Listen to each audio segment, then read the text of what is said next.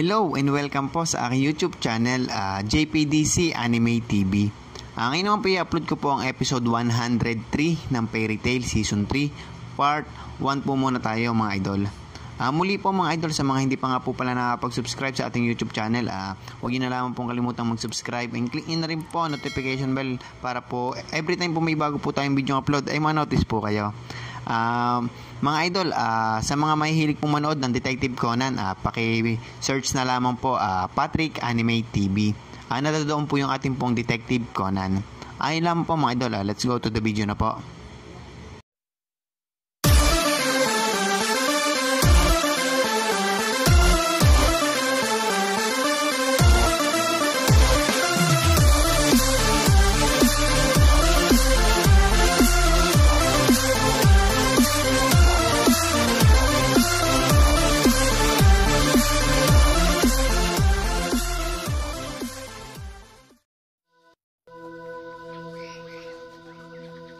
Hindi ako makapaniwala. Buhay pala si Zeref at nandito siya sa islang to. Tama ka dyan. At saka hindi lang yon. Sino mag-aakalang pupunta rito si Master Hades ng Grimoire Hat? Tinatawag na daw na Seven Kin of Purgatory ang grupong kasama niya. At ang sabi niya rin, narito na si Isa ang isa sa mga yon. Hindi maganda ang sitwasyong to. Kailangan na nating magmadali. Hanapin na natin si Wendy at si Mes tapos bumalik na tayo.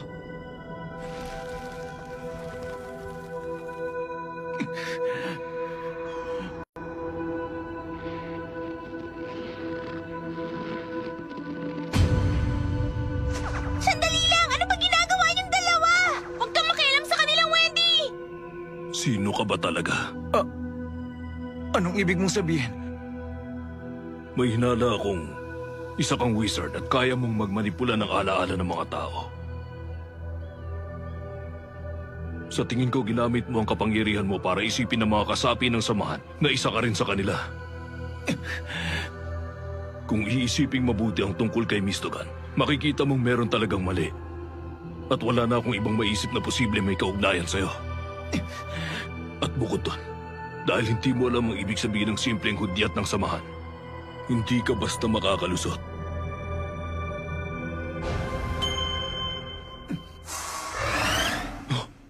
Bigla siyang nawala!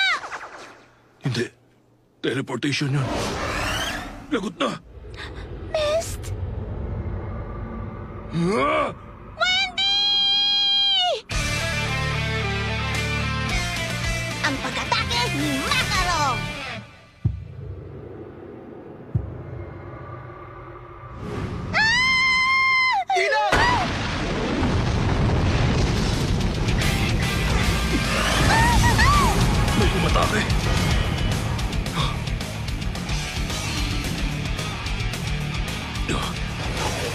Ano bang nangyayari?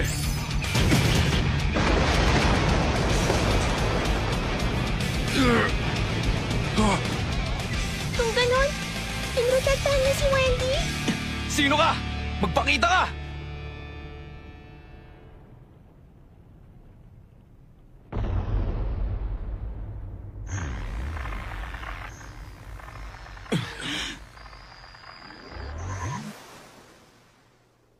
Magaling ka.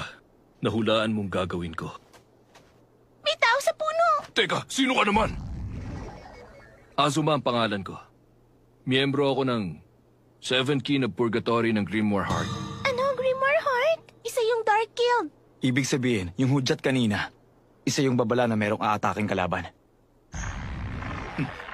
Sa kasamaang palad, huli na nang malaman mo yan. Sandali lang. Ano ba talaga tong nangyayari dito? Akala ko kapag pumasok ako sa sagradong lupain ng fairy tale, meron ako matutuklas ng maitim na lihim na matagal nyo nang tinatago.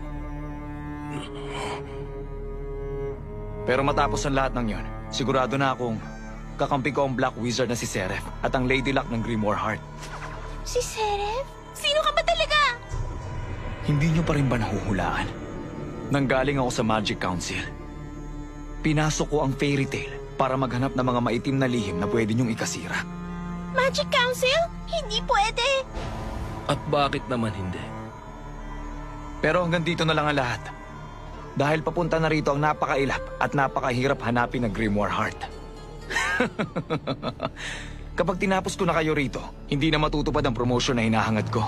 Mukhang tama lang ang naging desisyon ko. Napapwesto yun lang sa malapit ang mga barkong pantigma ng Magic Council kung sakali mang magkaroon ng aberya. Kaya humanda kayo. Lilinisin ko ang lahat ng kailangang linisin. Barkong pandigma? Yun ba ang tinutukoy mo?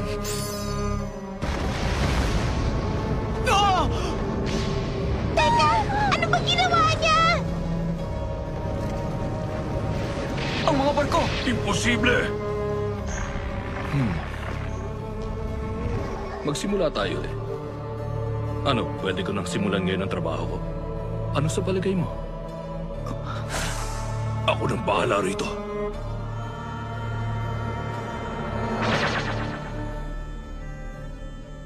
Isang kulay pulang hudyat na nangangahulog ang pag-atake ng kalaban.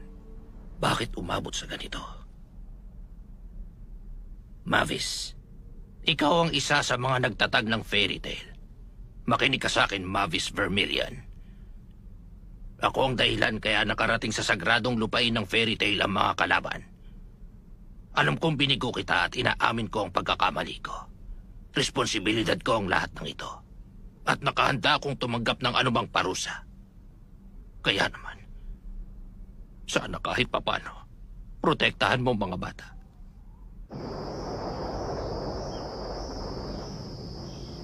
Meron ako narinig na malakas na pagsabog mula sa bandaron. Oo nga. Dumating na kaya ang mga kalaban? Buti pa alamin natin. Sige.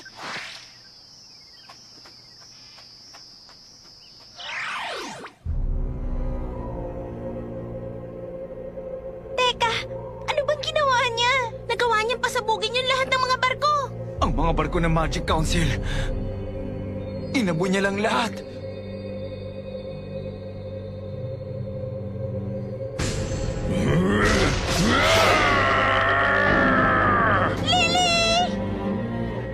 Leave.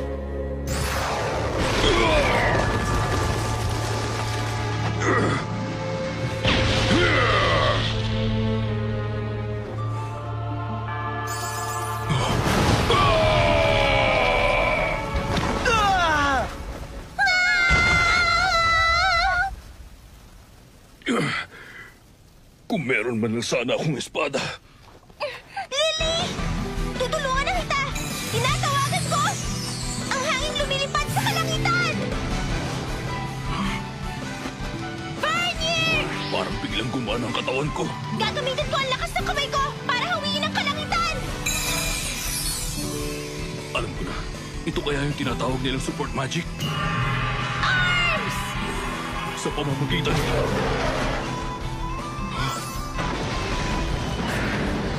Kahit ilang explosion magic pa, maiilagan ko! Ah, Miss! Meron ako naisip na plano. Tulungan mo ako isagawa yun. Ano? Ano bang sinasabi mo? Isa akong opisyal ng Magic Council. Oo, pero hindi na mahalaga yun sa ngayon.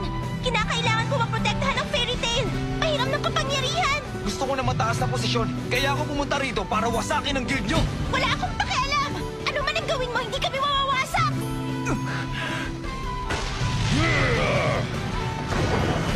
Lily! Taasan mo pa!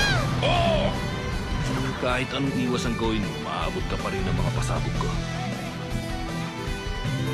Direct line! Direktang direkta! Tama lang talaga na tapusin mo na ang isang yan. Huli ka ngayon! Sky Dragon's Roar! Nakakainip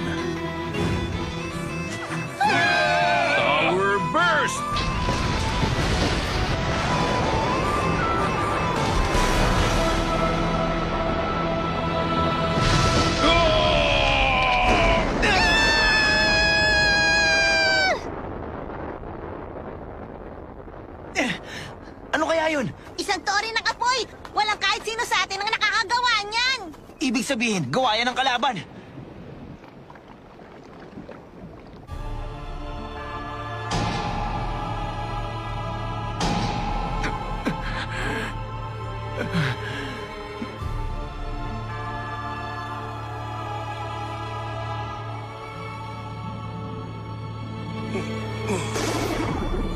Hanggang dito na lang ako.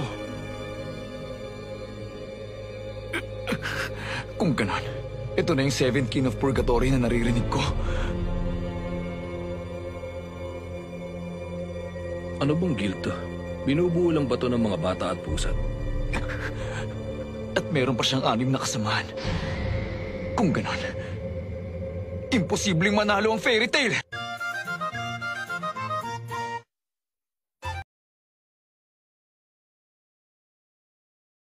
Mga idol, ah, kinat ko po muna ulit sa part pong yan. Ah, yung part 2 po natin, ah, pakiabang-abangan na lamang po. Ah, pasensya na po kayo kung medyo nabitin po kayo. Ah, yung part 2 naman po natin ay panunod ko lamang pong i-upload. Ayun lamang po, ah, maraming maraming pong salamat.